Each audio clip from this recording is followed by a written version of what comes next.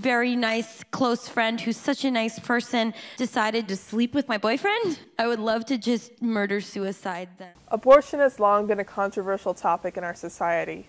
Despite the fact that Roe v. Wade made it legal over 40 years ago, we're still debating whether or not it's right.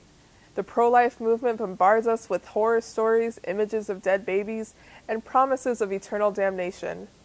Obvious Child strips away all that pro life rhetoric and politics to present us with a story that is both refreshing and grounded in truth. Jenny Slate stars as Donna Stern, an up and coming comedian who, after being dumped by her boyfriend, ends up having a one night stand with Max, played by Jake Lacy. Three weeks later, she finds out that she's pregnant. Without hesitation, she decides to get an abortion, but is unsure whether or not she should tell Max. Jenny Slate is truly endearing in this role and balances the comedic and dramatic aspects very well. My favorite part of the movie is when we see Donna post abortion in recovery with several other women. It's not a sad moment as one would assume, but it's one of joy as she and the other women smile at each other. She made the right decision, and this image is similar to the one we see in Juno and Knocked Up when the female leads give birth.